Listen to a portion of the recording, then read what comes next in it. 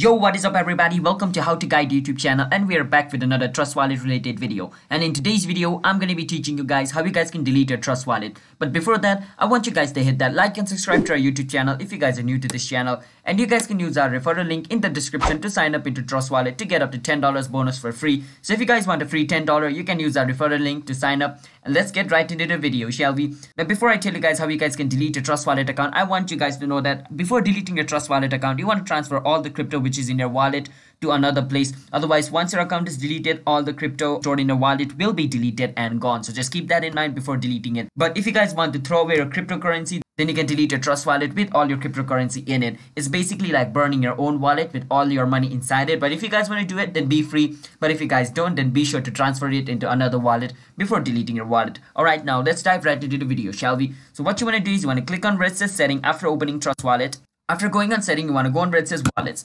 And on wallets it shows multi-coin wallet one which is your you know trust wallet. What you want to do is you want to swipe right once. After you swipe right once it's going to show you are you sure? Would you like to delete this wallet? And if you're sure you want to click on delete. But right now i do not want to delete my wallet so i'm not going to do that. So basically swipe right once it shows you this delete button. Click on this delete button. Click on delete and your wallet will be deleted. So it's that simple. So hope you guys were able to delete your trust wallet account by watching this video and if you guys did, then be sure to hit that like and subscribe to our YouTube channel with notification on. And if you guys want a free $10 bonus while signing up into Trust Wallet, use our referral link in the description. And I will see you guys in my next video. Until then, bye-bye, have a nice day. And another reminder, be sure to transfer your cryptocurrency before deleting your wallet. Otherwise, it's gone.